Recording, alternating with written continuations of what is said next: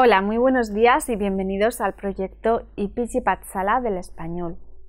Yo me llamo María Teresa Miramón y soy profesora de la Universidad Jawaharlal Nehru en New Delhi.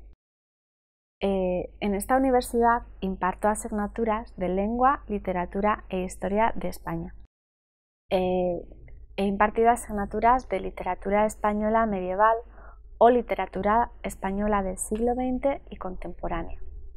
También he impartido Historia de España del siglo XX y diversas asignaturas de lengua española.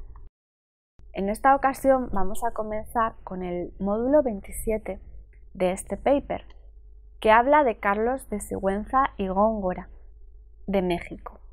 Don Carlos de Sigüenza y Góngora es uno de los autores más conocidos del barroco en Hispanoamérica por sus diversas aportaciones a la literatura del siglo XVII. Este autor criollo mexicano ofrece en sus obras una gran cantidad de material que nos ayuda a conocer la historia del México colonial. Este autor, científico e historiador, se caracteriza por reflejar en sus obras varios elementos ideológicos que lo definían como un adelantado a su momento histórico. En sus escritos propone ideas que tiempo después serán retomadas y utilizadas como referentes por autores y científicos posteriores. Hablamos, por lo tanto, de un autor ineludible y fundamental dentro de este grupo de escritores criollos que tanto contribuyeron, de una forma u otra, a la definición de un sentimiento de una identidad y de una cultura e historias propias. Hablamos de alguien que hizo constar sus ideas reivindicativas y sus conocimientos en sus textos, con la finalidad de dar un paso hacia adelante en el proceso de emancipación de la cultura criolla. Con tal de adentrarnos en el mundo de Sigüenza y Góngora, empezaremos haciendo referencia a los hechos más relevantes de su biografía.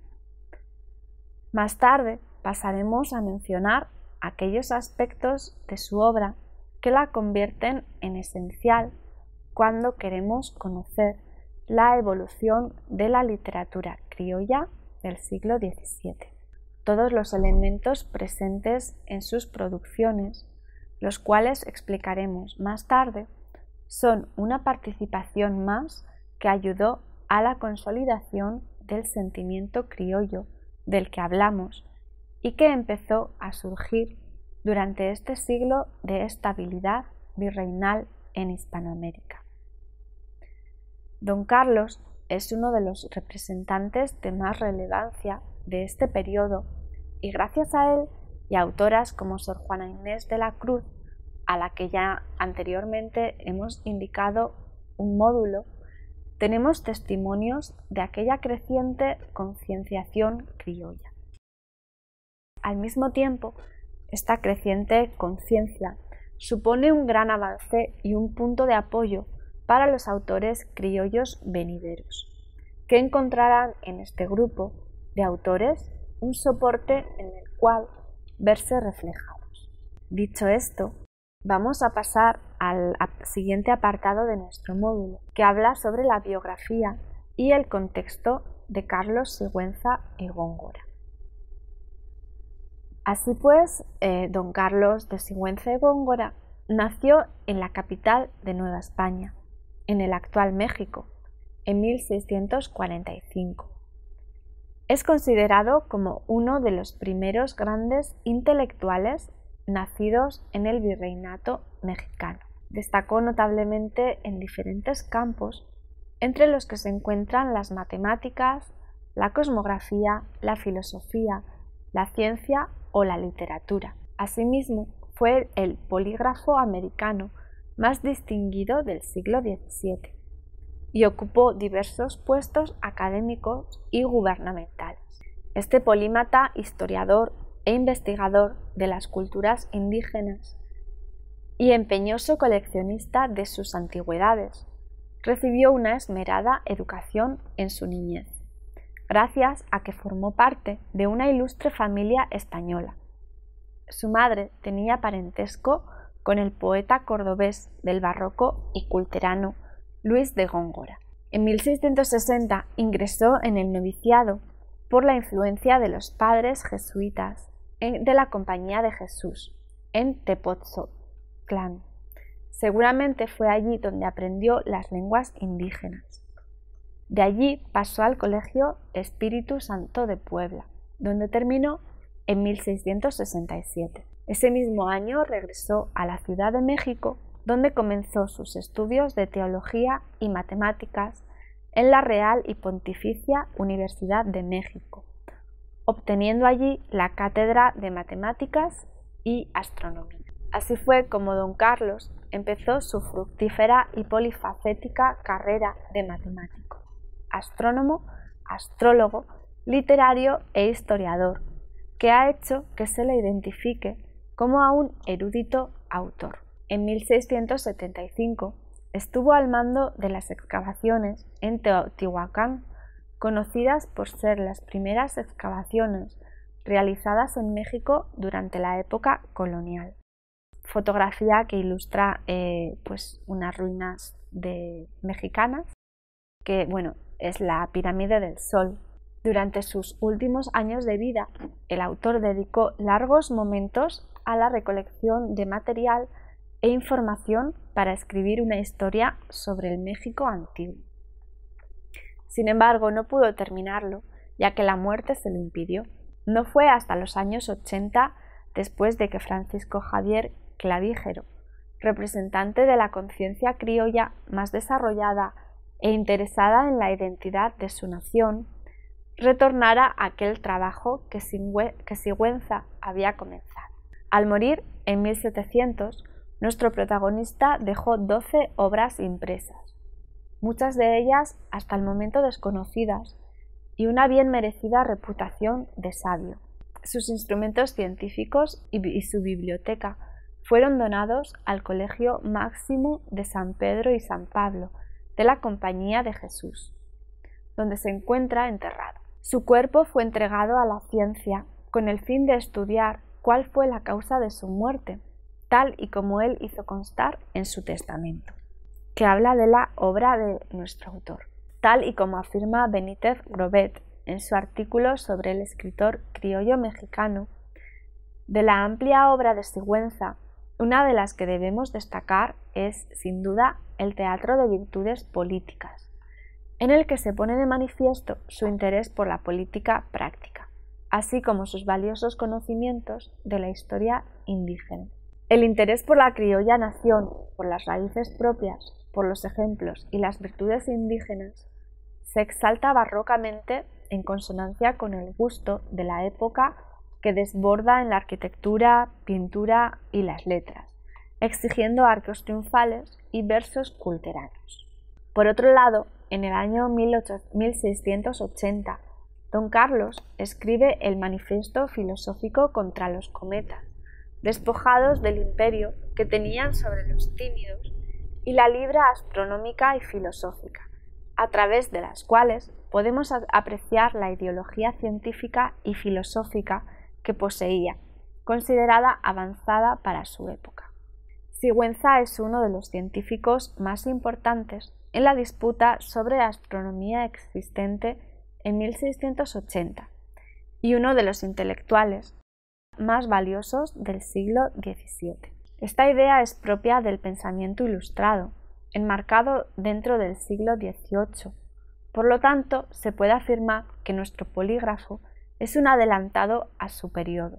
En el siguiente fragmento de la vida astronómica y filosófica muestra su apuesta por la libre filosofía a la hora de tratar de superar los obstáculos que dificultan el desarrollo de la ciencia. Asimismo, se decanta por la crítica a la hora de hacer ciencia, cuando dice Iré por diverso camino que será el que me abre la filosofía para llegar al término de la verdad.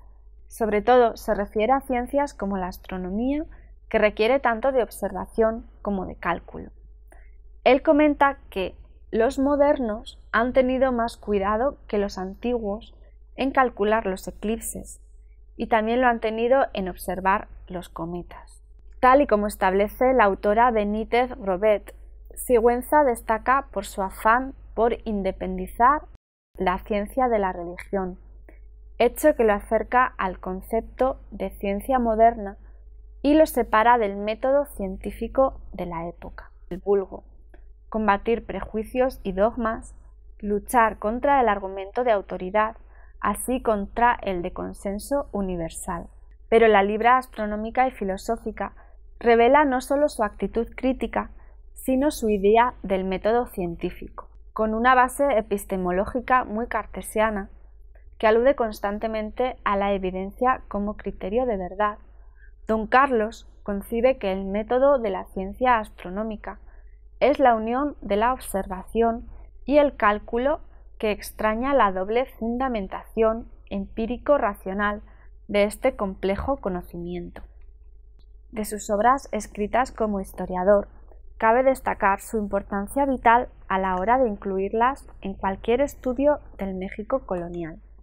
Así, sus obras, consideradas crónicas y hasta antecedentes lejanos de material periodístico, como el Mercurio Balante con la noticia de la recuperación de las provincias del Nuevo México, frecuentes fuentes obligadas para indagar en la historia de México durante el periodo en el que nos encontramos inmersos. En algunas de ellas, el autor propone el método para escribir historia.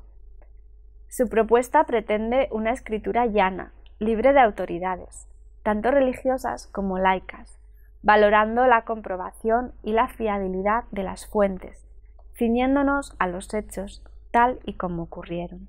En el prólogo de la crónica laica conventual Paraíso Occidental, por otro lado, en sus escritos el autor deja entrever un claro reflejo de sus ideologías criollas. Tal y como estudia Benítez, sobre todo, vemos el manifiesto de sus ideales en su propia desubicación, su anhelo de integrarse en los dos ámbitos culturales en los que se vive y la necesidad de definición que se hallan presentes en todos sus escritos históricos.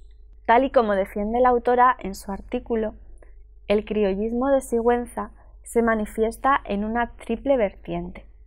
Por un lado, en ocasiones, hace suya la visión de los conquistadores, de donde surge una cierta infravaloración del natural de estas tierras, que sin el contacto con la ayuda occidental no alcanzaría la redención y desde luego no podría ser integrado a la comunidad humana. Por otro, como auténtico criollo, vislumbra una criolla nación donde la ciencia americana es semejante a la europea.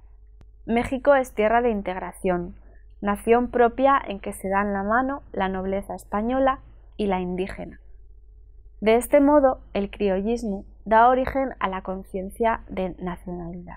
Tal y como Oviedo menciona en su libro, de entre toda la literatura que escribió, poesía, teatro, obras históricas, filosóficas y religiosas, la pieza que más destaca es una obra de ficción llamada Infortunios, que Alonso Ramírez, natural de la ciudad de San Juan de Puerto Rico, padeció, que tiene fecha de 1690.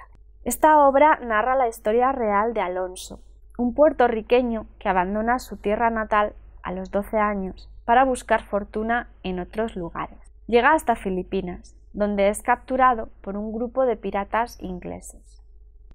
Don Carlos escribió la historia de Alonso en la que se reflejan el gran patriotismo y la fuerza moral del protagonista, que refleja a su vez la del autor. Asimismo, la pieza tiene una finalidad claramente ejemplarizante. Por otro lado, en el relato se hallan dos elementos muy característicos dentro de la literatura colonial, la navegación y por extensión el mar y los piratas. De este hecho se desprende la relación que han establecido algunos autores entre los infortunios de Alonso Ramírez y obras como por ejemplo el poema del autor cubano Silvestre de Balboa, Espejo de, Paciencia, del que hablamos con anterioridad. Bueno, ahora vamos a pasar a las conclusiones de este módulo y eh, para concluir, bueno, podemos decir que en esta sección hemos querido reflejar la importancia que tuvo don Carlos de Sigüenza y Góngora dentro del grupo de autores que formaron parte de la literatura barroca del siglo XVII en Hispanoamérica.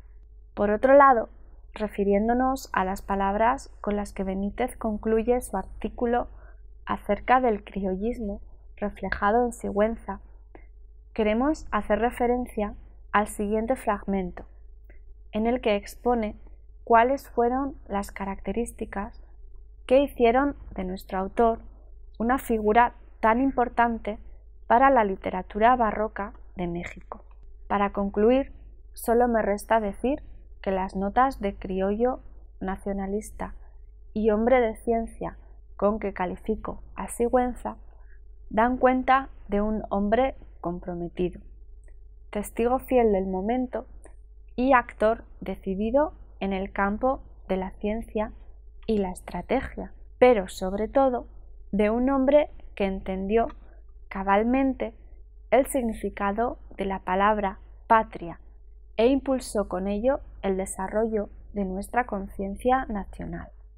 Se puede decir que Sigüenza y Góngora hace un uso de un discurso de contraconquista, ya que su obra se mueve contraria a la ideología colonialista y aporta nuevos modelos estéticos y políticos que dan cabida a la creación y producción de conocimiento.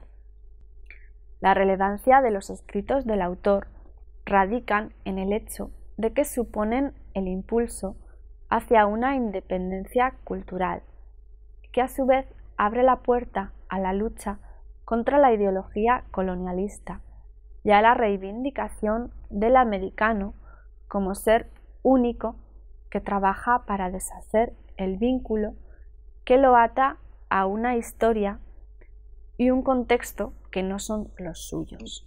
Ahora, para finalizar, eh, podemos ver una imagen del Colegio de la Santa Cruz de Santiago de Taltelolco, que fue la primera institución de educación superior de América. Y así podemos concluir nuestro módulo sobre este autor.